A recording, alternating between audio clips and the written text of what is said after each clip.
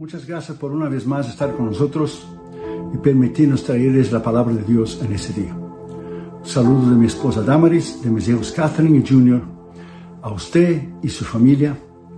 Y muchísimas gracias por permitirnos llegar hasta su hogar, donde quiera que usted esté para traerles la palabra de Dios. La Biblia dice que tiene oídos para oír, oiga lo que el Espíritu dice a la iglesia. Abra conmigo, por favor, la palabra de Dios, la Biblia, en Juan capítulo 14, versículo 27. Ese mensaje se llama No se turbe vuestro corazón. No importa la situación que usted esté pasando en medio de esta pandemia, no importa las circunstancias, no importa las luchas, pruebas y tribulaciones, no se turbe vuestro corazón. Y así dijo Jesús en Juan 14, 27. La paz os dejo, mi paz os doy. Yo no los la doy como el mundo la da. No se turbe vuestro corazón ni tenga miedo yo no os la doy como el mundo la da. Ponga esa palabra dentro de su corazón. El mundo da una paz pasajera, rápida, sin esencia, sin permanencia. La paz que el Señor nos da es eterna, es perpetua, es para siempre. Fíjese bien en esa palabra, mi paz os dejo. Fíjese bien, Él no dijo, os dejé en el pasado y no dijo, dejaré él dijo, os dejo ahora. Él no dijo, mi paz os dejé en el pasado y mi paz os dejaré en el futuro. Él dijo, mi paz os dejo hoy, ahora, en el momento, en el presente, para la situación y el problema que usted está enfrentando. Fíjese bien que Él dijo, os doy. Él no dijo, os di en el pasado o os daré en el futuro. Él dijo, os doy, os doy ahora, en el momento, en el presente en el momento de tu prueba, en el momento de tu necesidad. A nosotros nos resulta muy difícil a veces entender las circunstancias, lo que estamos pasando, las pruebas, enfermedades y todo ese problema de la pandemia que el COVID-19 trajo a todo el mundo. Pero ponga esa palabra de esa reflexión en su corazón. Primero, si estás deprimido, estás viviendo en el pasado. Segundo, si estás ansioso, estás viviendo en el futuro. Y tercero, si estás en paz, estás viviendo en el presente. Es muy similar a lo que Jesús dijo, mi paz os dejo, mi paz os doy. Dejo ahora, os doy ahora. Entonces, ponga esa palabra dentro de su corazón. A veces nos arrepentimos del pasado y a veces estamos ansiosos sobre las cosas del futuro porque no sabemos lo que va a suceder y nos preocupamos con el día de mañana. Pero la Biblia dice bien claro en Isaías 26, versículo 3, que Dios nos ha dado a nosotros una paz extraordinaria. No mantendrás una perfecta paz cuya mente está puesta en ti porque confía en ti. ¿Cómo podemos nosotros tener esa paz en el presente? ¿Cómo podemos nosotros vivir en la tranquilidad, en el poder del Espíritu Santo que Jesús nos ha dado esta paz en medio de todos los problemas del caos político, del caos económico y global y espiritual que la iglesia está enfrentando por causa de esa crisis. ¿Cuál es el camino de la paz? El camino de la paz se encuentra en Cristo. El camino de la paz está en Él, en una fe sólida, verdadera, una fe arraigada en la palabra de Dios una fe basada en la madurez de la experiencia, de los años que hemos tenido en Cristo, que nada nos va a mover. Reinos se levantan ni caen, naciones se levantan ni caen, gobernadores se levantan ni caen, presidentes se levantan ni caen, y Dios sigue siendo siempre el mismo, Él no cambia. Hebreos 13, versículo 8 dice, Jesucristo es el mismo ayer, hoy y para siempre. No importa el escenario global, no importa el escenario político, Dios sigue siendo Dios. Dios está sentado en su trono, poderoso, soberano, con el destino de las naciones en sus manos. A Él nada y nadie lo puede remover, jamás, nunca.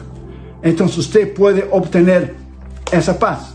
Juan 14, 27, Él dijo bien claro, vuelvo a repetir, mi paz, la paz de Él, mi paz os dejo, mi paz os doy. Dejo ahora, doy ahora.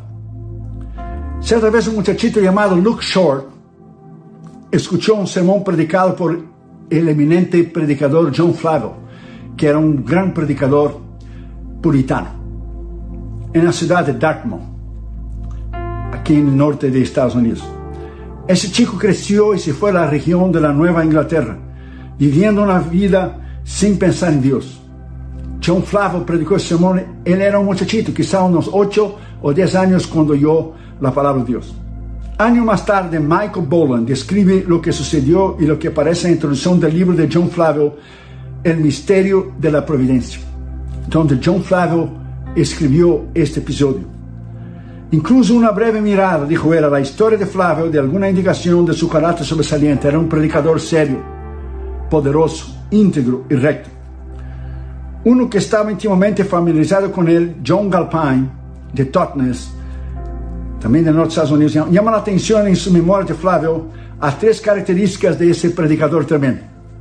Era un hombre diligente, amaba las almas, tenía un anhelo tremendo en ver la conversión de las almas y tenía un espíritu pacífico y senador.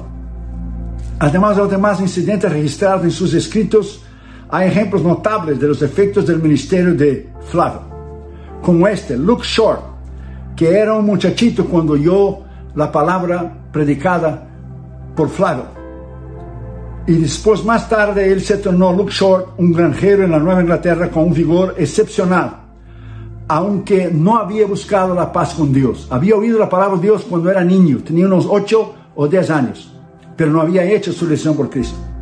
Un día, Luke Short, mientras estaba sentado en un campo de su propiedad, reflexionando sobre su larga vida, recordó un sermón que escuchó en Dartmouth cuando era niño. Fíjese bien, el horror de morir bajo la maldición de Dios y perder su alma y ir al infierno se apoderó de él y le impresionó tanto que empezó a meditar sobre las palabras que había escuchado hace mucho tiempo atrás de John Flavio. Había oído ese sermón a 85 años antes, cuando era un niño. Entonces ponga esa palabra en su corazón. Si él había tenido 8 años de edad, entonces cuando él se convirtió 85 años después, entonces tenía 93. Si él había tenido 10 años de edad, 85 años después, él tenía 95 años de edad cuando él se convirtió. La palabra le hizo efecto 85 años después que lo oyó el sermón cuando era un niño. O sea, la palabra nunca vuelve atrás. La palabra es poder, la palabra es autoridad. Cuando usted predica a alguien o se comparte la palabra de Dios con alguien, como yo en los aviones, sentado a mi lado, en cualquier parte del mundo donde nosotros viajamos, ¿cuántas almas he ganado con la gente sentada a mi lado?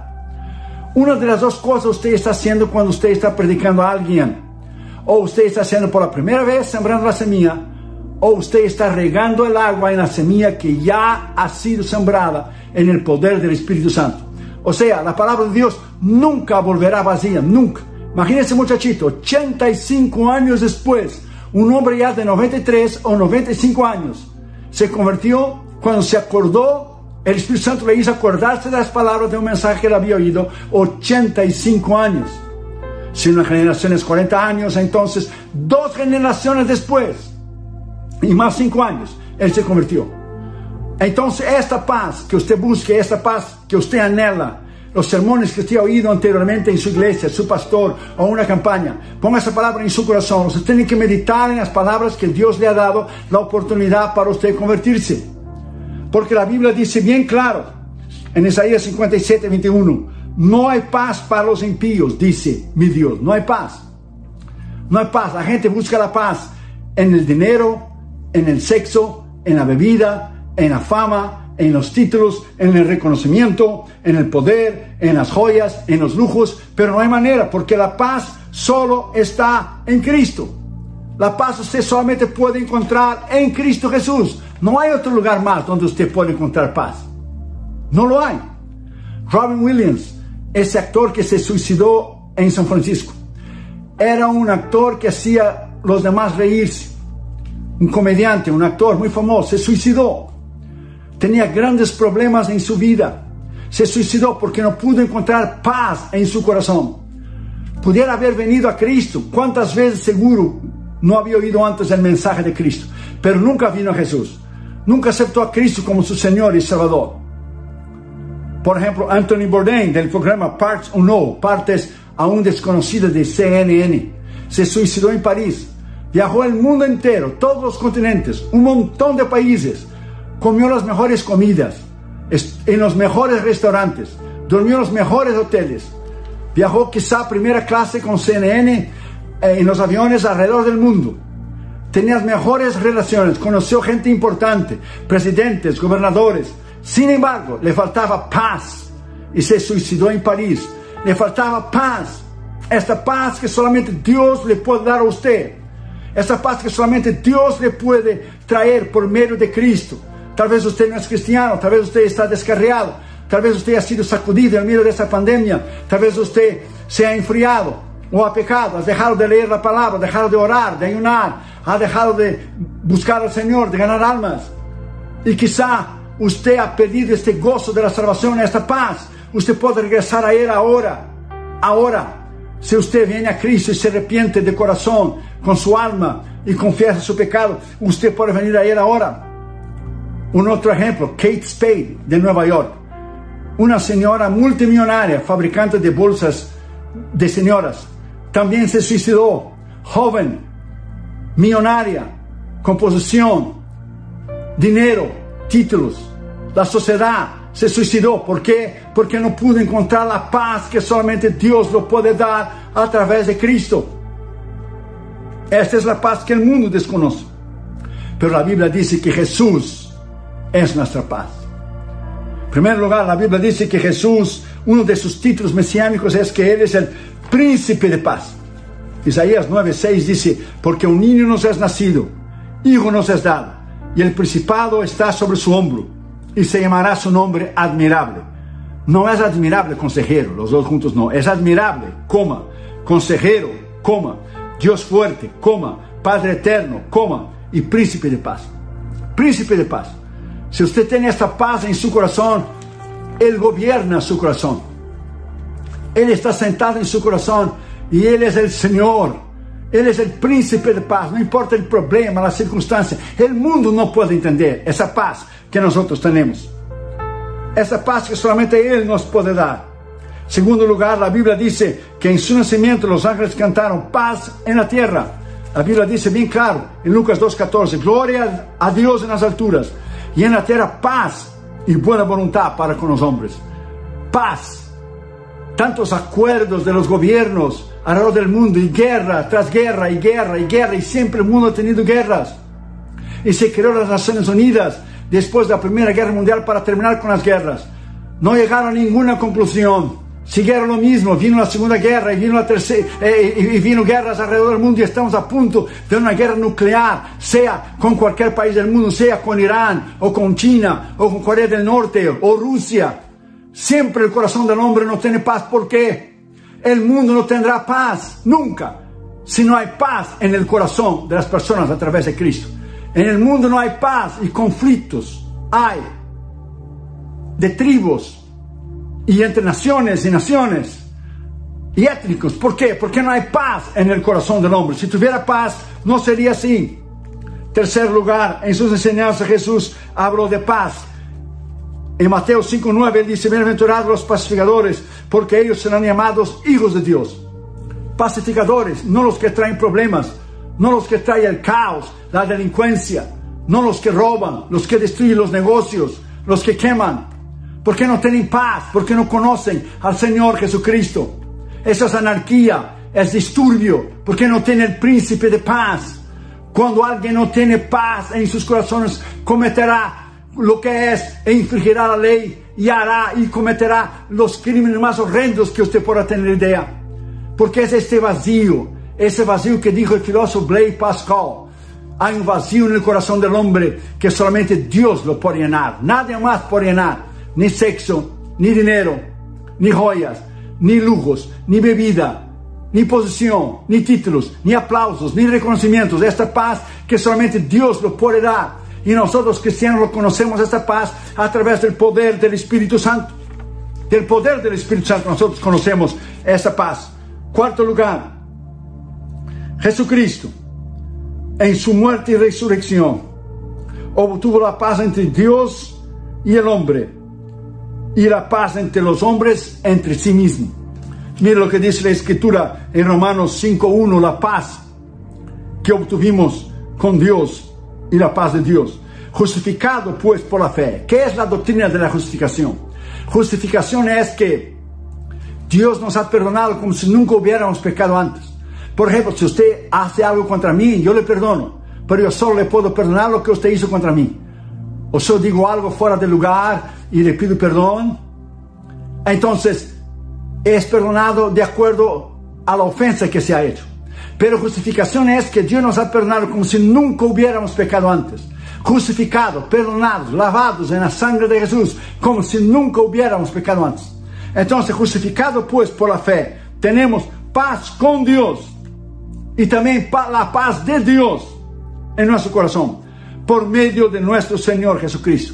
Esa es la paz entre nosotros y Dios, Dios y nosotros. Y también Él trajo paz entre hombres y los hombres.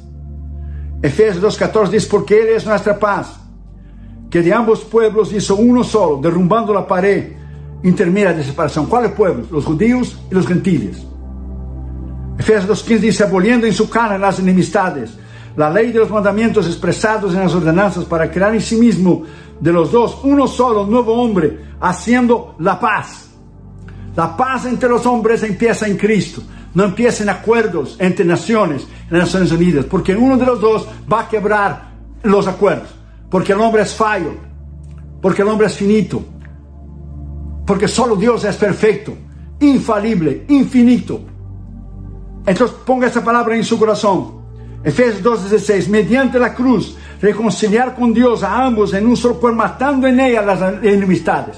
Cristo mató en la cruz las enemistades a través de su muerte en la cruz y su resurrección. El hombre solo puede tener paz en Cristo.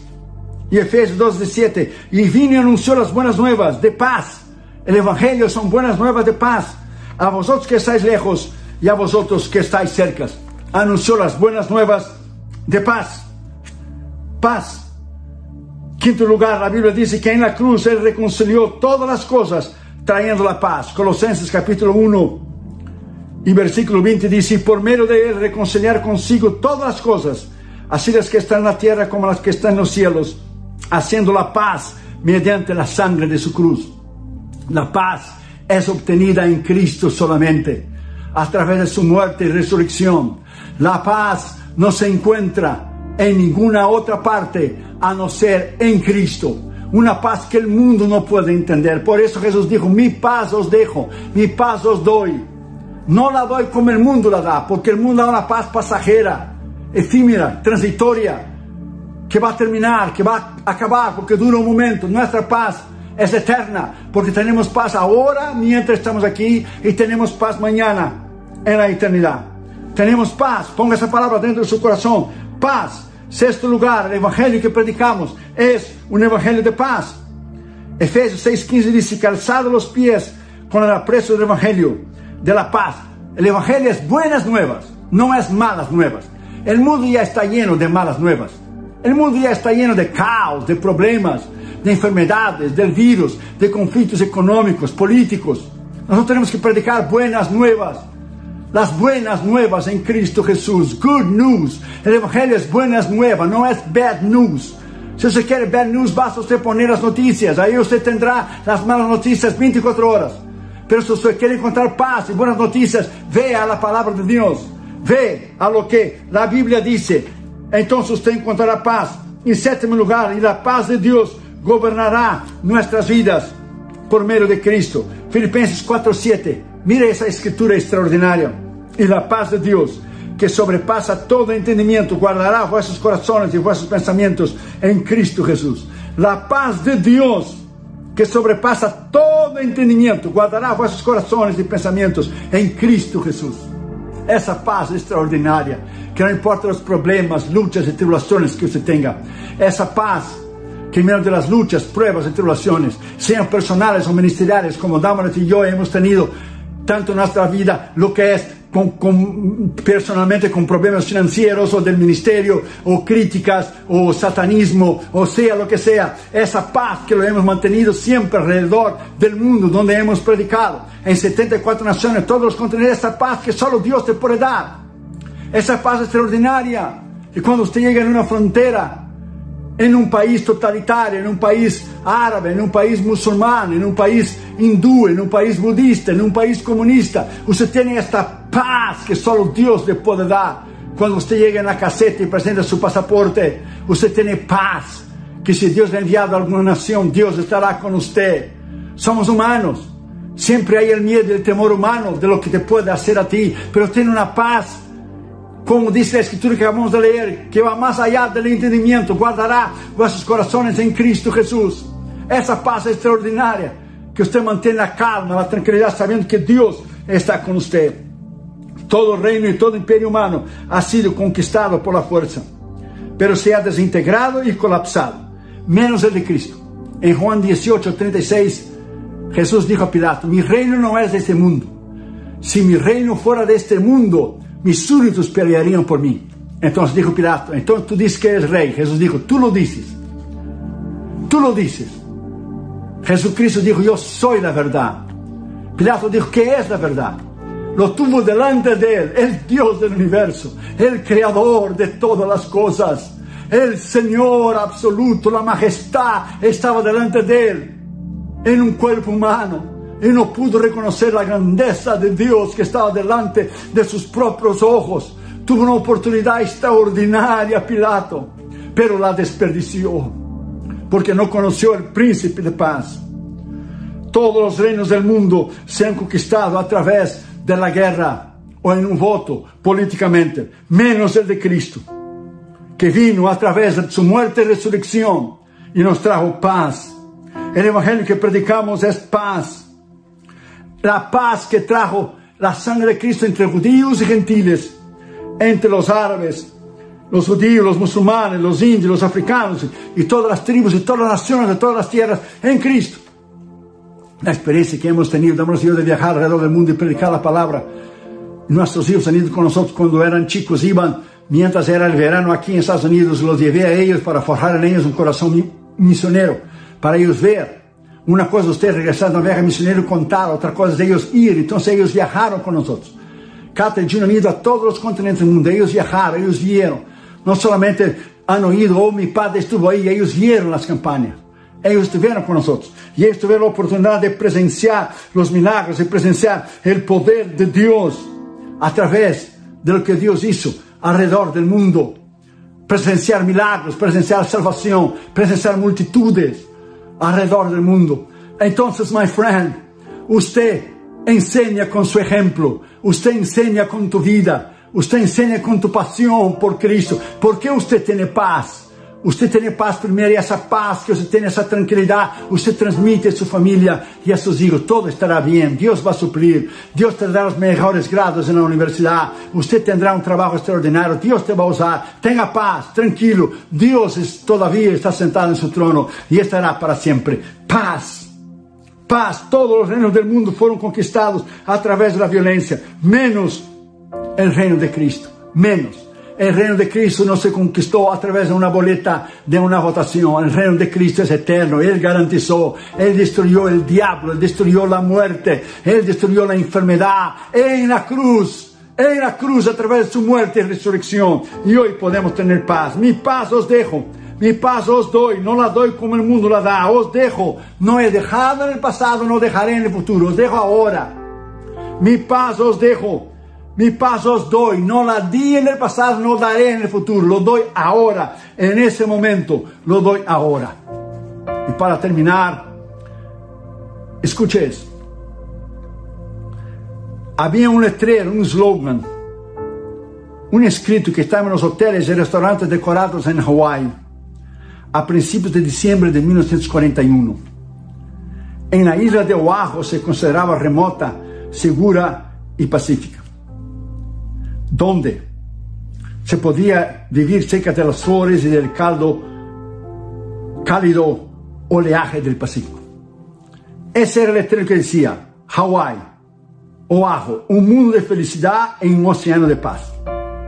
La mayoría de los residentes de Honolulu no cerraban sus puertas y algunos propietarios no tenían llaves por muchos años. Un mundo de felicidad en un océano de paz.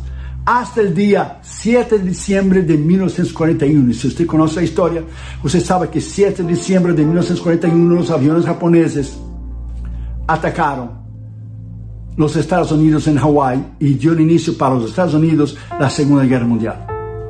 Hawái era un mundo y un océano de felicidad y de paz hasta el día 7 de diciembre de 1941 cuando los japoneses atacaron a Pearl Harbor. Los barcos y los aviones de los americanos. La paz del mundo puede desaparecer muy rápidamente. El mundo te da, pero el mundo la quita en un instante. La seguridad política puede desaparecer en un instante. Pero esa paz que nosotros tenemos en nuestro corazón es eterna. Jesús nos ha dejado un legado de paz. Matthew Henry, el gran comentarista que nació en Gales, en Wales, en el Reino Unido, dijo acerca de Juan 14, 27. Cuando Cristo estaba a punto de dejar el mundo, ¿qué hizo en su voluntad? Su alma la entregó a su Padre. Su cuerpo dejó a José de Arimatea. Su madre dejó el cuidado de Juan. Pero sus pobres discípulos, ¿qué podía dejar? Plata y oro Jesús no tenía, pero ¿qué le dejó? Su paz, que era infinitamente mejor. Lo dejó su paz. Porque sabía que iba a morir en la cruz. Sabía que los discípulos iban a quedar consternados com um sentimento de derrota, em confusão. Ele dijo: Mi paz os doy. Vendrá lutas, pruebas e tribulações, pero mi paz os doy. Ele dijo Juan 16, 31, bem claro: En el mundo tendréis aflicção, pero confía, yo, dijo Jesús, he vencido el mundo. Pruebas y aflicción siempre vamos a tener. Juan 14, 27. Mi paz os dejo, mi paz os doy. No la doy como el mundo la da. No se turbe vuestro corazón. El mensaje de hoy es, no se turbe tu corazón. En el medio del caos económico del COVID-19, en el caos político, no pierda la confianza, la fe, la paz que Dios te ha dado, porque Dios sigue siendo Dios. Os dejo mi paz hoy. No dejé y no dejaré, os dejo hoy. La doy ahora, en el momento. No la di y no la daré. La doy ahora, en el momento, siempre en el presente. Siempre presente. Tal vez en su corazón no hay paz ahora mismo. Tal vez usted no es cristiano, tal vez usted está descarriado, tal vez usted ha perdido su trabajo, tal vez usted está enfrentando una enfermedad y dolor o una situación desesperadora y usted no tiene paz. Mateo 11, 28, Jesús dijo, venid a mí, todos que estáis cargados, yo os haré descansar. Cargados, trabajados, yo os haré descansar. En tu casa, tu familia, donde quiera que usted esté, tal vez usted está viviendo ahora mismo sin paz. Tal vez usted está viviendo ahora mismo en un caos. Vamos a orar ahora mismo. Donde quiera que usted esté, si usted no tiene Cristo, y esa palabra ha venido a su corazón a través del poder del Espíritu Santo, y usted ha buscado paz en el sexo, en el dinero, en la bebida, en las joyas, en los lujos, reconocimiento, aplauso, títulos, y todo lo demás usted nunca la va a encontrar, porque la paz solo se encuentra en Jesús. Él lo dijo, Dios mismo lo dijo. Tal vez usted era un cristiano y se descarrió, se apartó. Vamos a orar por usted. Toma la mano de tus hijos, la mano de tu esposa. O si usted está solo, ahí mismo incline su cabeza en humildad, donde quiere que usted esté, en su casa, su trabajo. Y vamos a orar para que Dios pueda inundar su corazón de paz e tranquilidade em meio dessa incertidumbre econômica que temos com o Covid-19, em meio dessa incertidumbre política que a nação está vivendo. Tenha paz. Deus sigue sendo Deus. Não podemos entender as decisões e por que Ele permite uma coisa ou a outra, mas a palavra de Deus nos diz bem claro que Ele sigue sendo Deus e soberano, sentado em seu trono, reinando em majestade. E Ele nunca vai permitir nada a ti e a mim que nos pueda ir mais allá de lo que tu e eu podemos enfrentar. Vamos orar. Padre, en el nombre de Jesús, yo oro por aquellos que no oíram tu palabra ahora mismo. Aquellos que no tienen a Cristo, que ellos puedan hacer una decisión y venir a ti, arrepintiéndose de sus pecados y confesando y con humildad, puedan ser llenos del Espíritu Santo al venir a ti. Nuestros hermanos que se han enfriado durante la pandemia, muchos se han descarriado, muchos ministros desanimados, Muchos se sienten derrotados, no están derrotados, pero se sienten derrotados, fracasados. Padre, envía tu palabra ahora mismo en sus corazones. Nuestros sembradores que nos han ayudado con los 64 misioneros que tenemos y sus familias en nuestra escuela bíblica en la India. Dele paz. Los que han perdido sus trabajos, los que han estado enfermos, los que han pasado por grandes problemas, los que tienen problemas con sus familias, un esposo, una esposa con sus hijos, dale paz, tu paz, que solamente tú le puedes dar. Ahora mismo, en el nombre del Padre, del Hijo y del Espíritu Santo, en el nombre de Jesús, pedimos que tú puedas tener esta paz extraordinaria en el corazón de aquellos que han oído esta palabra y que le puedas transformar para tu honra y para tu gloria. En el nombre de Jesús, tú que dijiste, mi paz os dejo, mi paz os doy.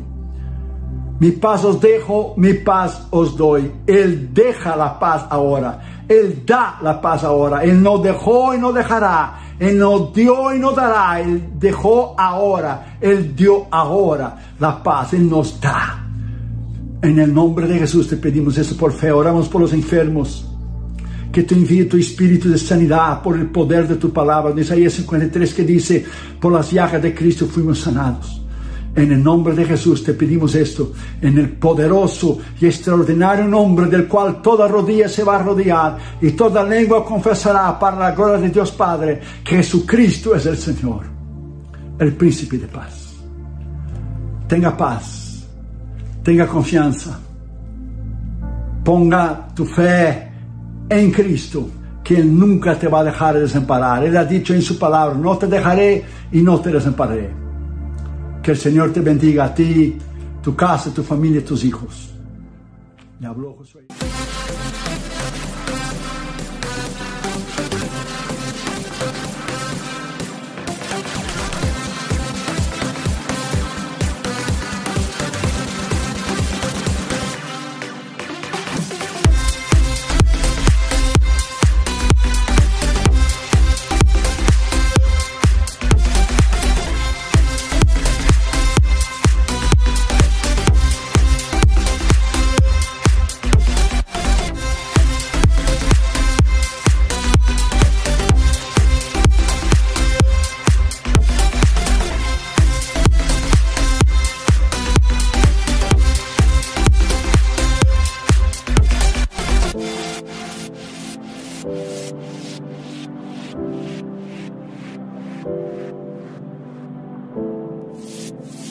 フフフ。